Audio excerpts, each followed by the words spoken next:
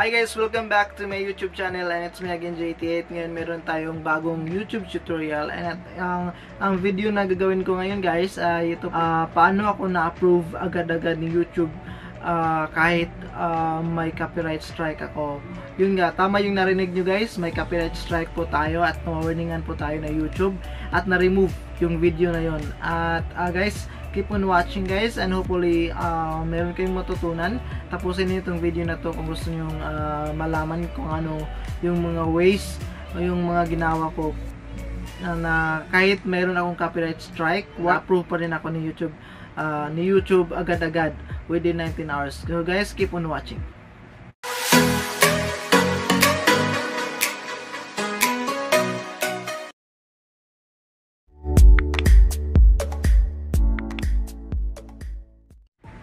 So yun na nga guys, ay share ko sa inyo kung paano ako na-approve agad-agad ni YouTube kahit may copyright strike warning ako guys. Yun na guys, totoo yung narinig guys, meron akong copyright strike na nawarningan ako ni YouTube. At yung video na yun guys, um, agad-agad ni-remove ni YouTube. Sa YouTube um, videos ko, ni-remove agad niya yung copyright strike na, na video na yun, uh, na yun. And basically guys, hindi, hindi ko naman siya uh, napagalaman na may violation yung video na yun. Kasi yung video na yun guys eh, um, is uh, yung sa indie film ko yung sh- uh, short clip lang sa indie film yung uh, minik minikapan ako. Pero kaso guys nakahub nakahubal ako. Hindi ko alam kung bakit na remove hindi ko alam hindi ko alam bakit na copyright strike or uh, meron lang sigurong uh, violation yung sa community guidelines. Kaya mag-ingat po tayo sa pag-upload ng video guys. Ang ito yung ginawa ko guys after nung uh, na-copyright strike ako guys at na-remove nga yung video na yon. So meron akong warning guys sa YouTube channel ko for copyright strike. So hindi naman siya uh, ay hindi ko naman hindi ko naman siya pinapansin lang kasi warning lang nga. Warning lang siya and um, kasi pag uh, yun yung iwasan natin guys kung magkaroon pa tayo ng uh, sunod-sunod na copyright strike kasi tatlong beses lang tayo maka-copyright strike at pwedeng pwedeng ma-remove yung ating YouTube channel and hindi na tayo pwedeng maka, makapag-upload sa YouTube uh, channel na yun kasi remove agad-agad ni YouTube ang YouTube channel na yon kung meron tayong tatlong tatlong violation sa community guidelines at makaka-copyright strike nga tayo. And ito yung ginawa ko guys after kong uh, after na remove yung videos na yun, uh, video na yun after na remove dahil sa copyright uh, strike. Uh, next video ko hindi ko na yung hindi hindi muna ako nag-upload ng videos uh, mga after one month tsaka ako nag-upload ng uh, video.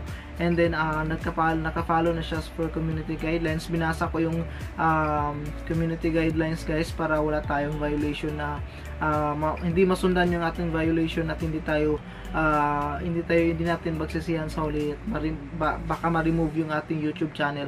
So sunod guys uh, iwasan natin yung uh, copyright strike And uh, for copyright claim naman, uh, sa akin yan, meron akong mga copyright claim pero ni-remove ko siya agad. Uh, ni-remove ko yung mga copyright claim. So ito yung uh, tandaan din natin guys para mabilis yung uh, monetization approval natin.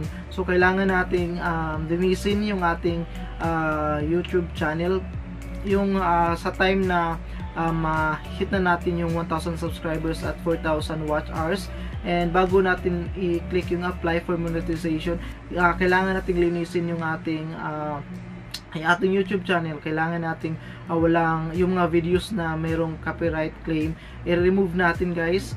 I-remove natin or uh, yun uh, mas mabuti nang i-remove or uh, i-private yung mga copyright claim na uh, mga videos natin at uh, make sure guys na yung pinaka-importante talaga para mabilis tayong uh, ma-approve full monetization is yung uh, yung titignan ni YouTube kasi yung uh, yung reviewer yung um, yung ating ginawang mga thumbnails yung subscription o yung mga uh, subscription o yung mga title ng ating mga videos.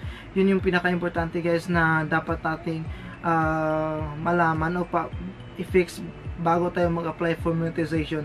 Ah, uh, yun na yung mabali, ma, kaya mabilis akong na-approve ni YouTube kasi malinis yung aking video. Uh, sa mga videos wala siyang uh, walang video doon na na copyright claim. At walang video doon um, lahat ng video uh, lahat ng video yun doon sa channel ko is um, sa akin talaga. Akin yun ang galing. Meron akong mga slideshow lang pero sa akin talaga pinaghirapan kong uh, yung mga videos na yun. Kaya hindi ako uh, hindi ako nabahala na hindi ako ma-approve. Kaya 19 hours lang agad uh, nung nag-apply ko for monetization uh, na-approve agad yung aking YouTube channel within 19 hours kasi wala tayong violation for community guidelines.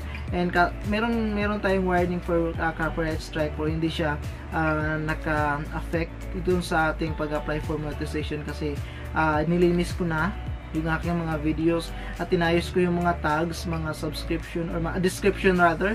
Yung description sa ating video nilagyan ko yung mga description nilagyan ko ng mga tags. At inayos ko yung mga thumbnails ko para uh, mabilis tayo ma-approve ma ni YouTube. Kaya um, kung ba kung hindi ka pa approve for monetization kaya dapat mo tong malaman at dapat mong uh, gawin to for, for your good naman to dapat mong uh, gawin to sa yung YouTube channel. Iwasan mong uh, marami kang copyright claim. Although yung copyright claim hindi siya makaka-affect sa yung YouTube channel pero uh, isa po yun sa mga dahilan kung bakit matatagal yung approval niyo for monetization. And um, isa din po yung mga reuse content guys. Yung mga reuse content pag ginagamit mo yung reuse pag ni-reuse mo yung content na ina-upload na ng ibang vlogger at ina-upload mo ulit isa yun sa uh, na natatagalan kang ma-approve ni um, YouTube. Kaya iwasan mo yun guys kung hindi ka pa approve kung um, naghihit ka pa lang ng uh, ng requirements ng YouTube and waiting for um, approval. Kaya bago ka mag-apply iwasan mo muna yun or linisin mo yung, yung YouTube channel para mabilis kang ma-approve ni YouTube. And uh, guys so sana mayroon kayong natutunan kahit pa paano sa video na to and hopefully magagamit niyo sa iyong YouTube channel. And uh, don't forget guys to uh, like and subscribe to my YouTube channel for more videos. And have a great day